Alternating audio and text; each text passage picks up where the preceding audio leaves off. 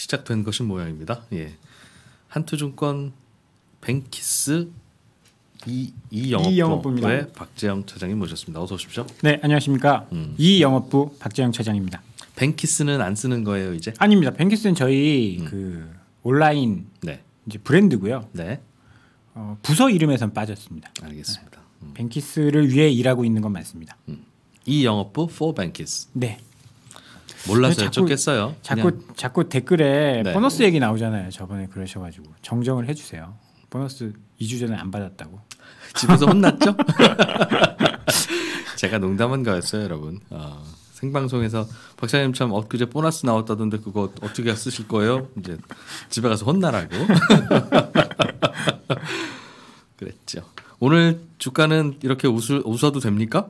요새 3거래일 연속 음. 나쁘지 않았습니다. 뭐 이틀 연속 오르기는 했는데 음. 어, 3일 전에는 아주 안 좋았다가 그래도 어, 낙폭을 많이 회복해서 끝났고 어제는 많이 올랐고 온- 어제는 오늘은 어제만큼은 아니지만 그래도 지수가 어, 거의 보합으로 시작해서 쭉 계속 올라가는 네. 그런 좋은 시장이었고요. 아, 지수부터 말씀을 드리면 코스피가 15포인트 상승을 했고 코스닥이 4포인트 상승했습니다. 어, 뭐 지수로 보면 2200선 안착을 했다라고 봐도 좋을 것 같아요. 2238포인트에 코스피가 마감을 했고요. 음흠. 코스닥은 686포인트에 마감을 했습니다. 어, 기관이 연일 이제 매수를 하고 있는데 원래는 이제 올해 들어서는 기관이 계속 팔았는데 네. 어제 오늘 기관이 매수를 하고 있습니다. 음. 기관이 오늘 1,488억 순매수였고요. 조금 찝찝한 거는 외국인은 또 팔고 있다라는 거예요. 뭐 사- 사실 수급이라는 게 그럼 누가 팔아야 사죠? 맞습니다. 음. 아, 그래서 이걸 뭐 꼭 너무 안 좋게 해석하긴 할 필요는 없는데 네.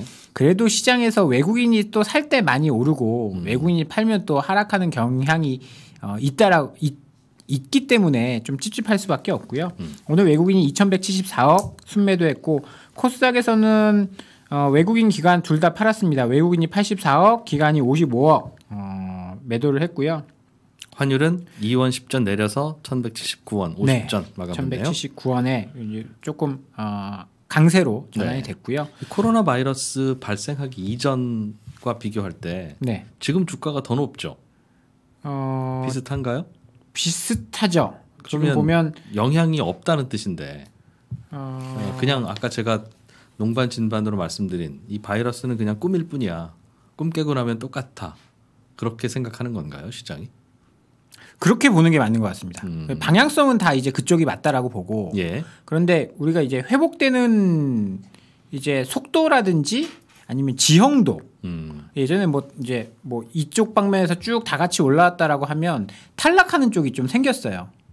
예를 들어서 여행이라든지 음, 음, 음, 뭐 그런 항공이라든지 쪽만. 몇몇 쪽 이제 지형도는 좀 바꿔놨다라고 봐야 될 것 같고요. 네. 그리고 몇몇 이제 이제 주식을 보는 이제 애널리스트들은 예. 고점에 대한 그 기대는 좀 낮춰야 된다. 음. 우리가 지금 음 예를 들어서 전망치가 2020년도에 한 2,500포인트, 2,600포인트였다라고 하면 코로나 바이러스의 영향이 전혀 없는 건 아니, 아니 기 때문에 뭐 중국도 이제 경제 성장률 낮춘다라고 하고 하니까 음.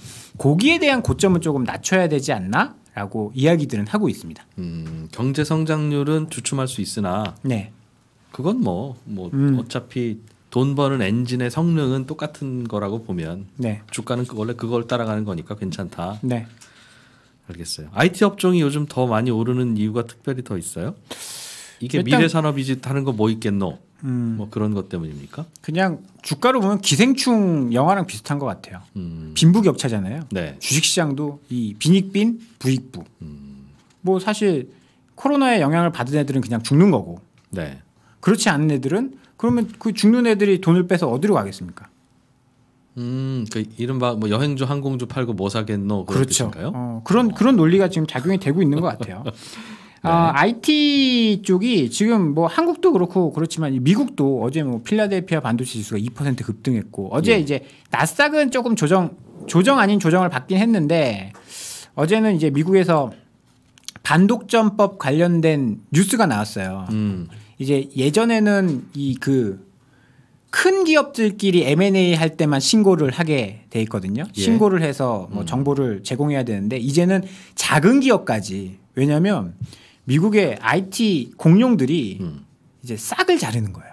아 얘들이 좀 될 것 같다 싶으면 예. 싹다 그리 M&A를 해버리다 보니까 이런 것도 안 된다라는 이제 뉘앙스의 어, 이야기들이 나왔거든요. 그러다 보니까 어제 뭐 어, 애플, 뭐 아마존 펀이 이런 다 그렇죠. 어, 예. 그런 쪽이 다 어제 하락을 해서 그런데 음. 어제 필라델피아 반도체 지수는 2% 급등했습니다. 네. 그리고 이제 중국 증시를 보더라도 상해 증시가 있고 심천 증시가 있고 뭐 이제 증시마다 이제 약간씩 특색이 있는데 심천 증시는 IT 비중이 높거든요.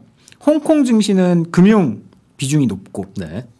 그런데 IT 비중이 높은 심천 증시가 음. 굉장히 강한 반등이 나오고 있어요.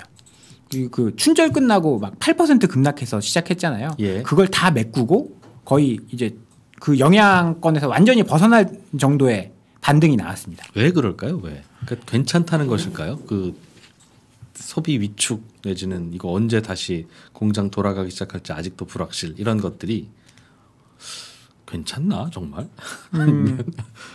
일단 IT가 이제 어떻게 보면 이제 사람의 영향을 좀 덜 받잖아요.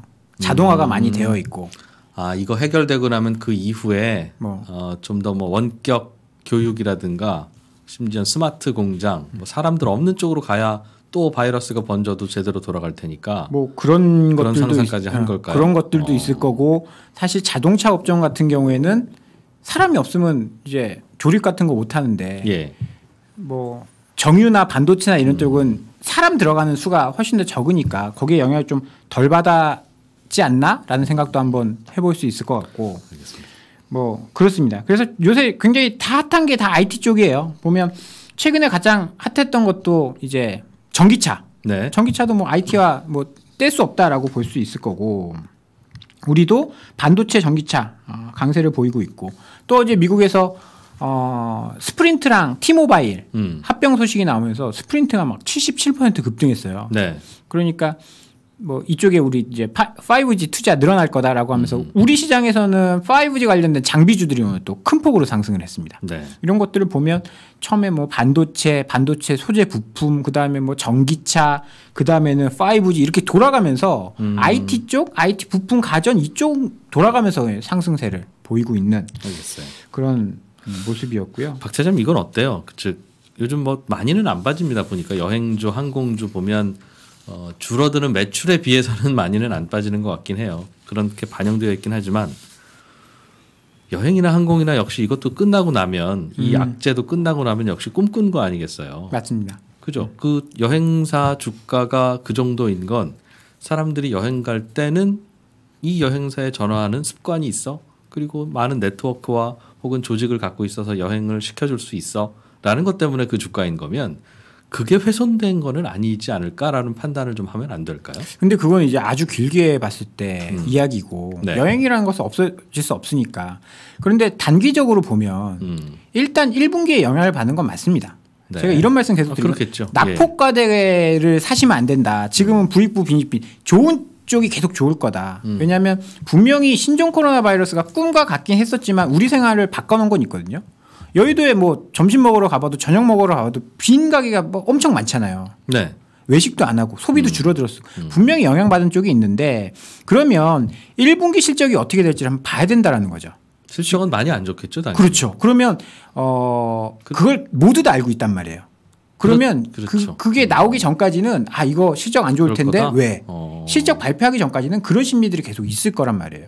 지금 호텔 신라 같은 경우에는 어 전망치를 40% 하향 조정했습니다. 2000, 2020년 들어와서 영업이익 전망치를. 음, 그렇죠. 당연히 네. 실적은 하향 조정될 네, 텐데 이제 궁금한 건 굳이 또 안 하려는 비유를 들면 이런 거죠. 예를 들면 억대 연봉 받던 남자가 몸이 아파서 한 이틀간 회사 안 나, 한두 달간 회사 못 나가면 월급 없죠, 당연히. 그 월급 지키는 거 보면 이거 형편없는 남자인 거죠, 그죠? 어, 그러나 그러나 이분의 돈 버는 능력이 훼손된 건 아니니까 깨서 일어나면 3월부터는 또 월급 잘 나올 거 아니겠어요. 그런데 그럴 때 싸게? 아, 아 이, 이제 이 사람하고는 못 살겠다 이혼 이러면 이건 잘못된 판단 아닌가 싶은 거예요. 그러니까 여행주 항공주 같은 그런 것들도 어 그걸 훼손이라고 봐야 하나 아니면 뭔가 좀 잠깐 아픈 걸로 봐야 하나 근데 뭐그 싶어서요. 네. 당시에 돈을 못 벌면 또 와이프가 바가지 긁을 거고 음 그러면 또 건강이 악화돼서 한 달 정도 더 쉴 수도 있는 거고 그것도 누구도 모르는 거기 때문에 알겠어요. 뭐. 어. 그럼 그때 가서 어, 봐야 되지 않겠습니까? 네. 네. 오늘 또 뉴스 중에 짚어주실 만한 게 혹시 있으시면. 음, 일단 오늘 이제 지표 어, 1월 고용 동향, 동향이 발표됐습니다. 우리나라에 네. 고용 동향이 발표됐는데 역시 요거는 또 우리 이진우 프로님께서 더 전문 분야시니까 내용만 딱 간략히 말씀드리면요. 대부분 다 좋게 나왔습니다. 네. OECD 고용률, 그러니까 15세에서 64세까지, 그러니까 이 이제 노동을 좀 할 수 있는 뭐 그런 고용률이 66.7%로 전년 대비 0.8% 포인트 상승했고요. 실업률은 4.1%로 0.4% 포인트 하락했습니다. 취업자 수는 2,680만 명으로 전년 대비해서 56만 8천 명 증가했고요. 네. 어, 다만 좀 안 좋은 게 이제 연령대별 고용률을 보면 40대가 음. 지금 아, 제가 정확히 수치가 기억 안 나는데 막 한 30개월, 40개월 연속 지금 고용률이 떨어지고 네, 있죠. 떨어지고 사- 있다. 40대 아. 인구 자체는 뭐 네. 변하니까 그거보다는 40대 인구 중에 직업 가진 분들의 비율 네. 이게 이제 줄어들고 있다는 거예요. 요게 지금 40대에서 하락하고 있고 나머지 연령대는 다 상승하고 있는데 음. 40대가 일을 제일 많이 해야 되고 이제 활- 왕성하게 이제 음. 생활 그 활동할 시기 아닙니까? 근데 여기서 조금 하락하고 있다라는 게 조금 아쉽고요. 구조조정 뭐 좀 있고 그렇겠죠. 어, 주요 수- 제조업체들 뭐. 자동차나 이런 쪽 음. 구조조정 많이 했으니까 네. 그런 영향이 있었고 업종별로 보면 보건 운수 숙박이 증가했고 도매 정보통신 금융 쪽이 감소했다. 네. 뭐 질적으로는 뭐 사실 어 뭐 파악하기가 좀 어려운데 음. 음 전반적으로 계속 좋아지고 있는 추세는 맞는 것 같아요. 음. 고용 쪽이 이건 뭐 많은 논란들은 있죠. 정부에서 뭐 어, 일자리. 숫자는 늘어나고 있는데 그게 다 정부에서 만든 일자리다라는 말도 맞고 네. 다만 15세에서 64세 사이의 인구 자체가 별로 안 늘고 있어서 요즘엔 늘어나는 인구는 다 60대 이후니까 그렇다면 일자리도 별로 안 늘어도 그게 꼭 음. 나쁘거나 잘못된 현상은 아니잖아요. 그런 면도 있고 그런 것 같아요. 음. 아무튼 좀이 일구 바이러스 좀 줄어들었으면 좋겠어요. 어. 네. 저는 요쯤 돼서 딱 좀 별일 없이 넘어가면 오히려 괜찮은 요즘 막 손 씻는 습관 막 생겼고요. 네. 원래 습관이라는 게 한 삼 세 번 정도, 삼 일 정도만 연속으로 하면 뭔가 이제 살살 생기잖아요. 그게 네, 네, 네. 좋은 습관이든 나쁜 네. 습- 습관이든 괜찮은 것 같은 생각은 들어요. 그런 면에서 보면. 오늘 확진자가 없었대요. 음. 우리나라에서는. 그러면 어느 정도 잡힌 것 같고 세계적으로 사망자나 확진자 수가 증감이 많이 줄었거든요. 네. 증감 속도가. 그러면 뭐 특별한 일이 없는 한 음. 여기서 더 악화되지는 않는다라고 봐야겠죠. 너무 그랬으면 걱정. 그랬으면 좋겠습니다. 네. 예. 자 오늘 박재영 차장님 모시고 또 어, 재밌는 공부 잘했네요. 고맙습니다. 감사합니다.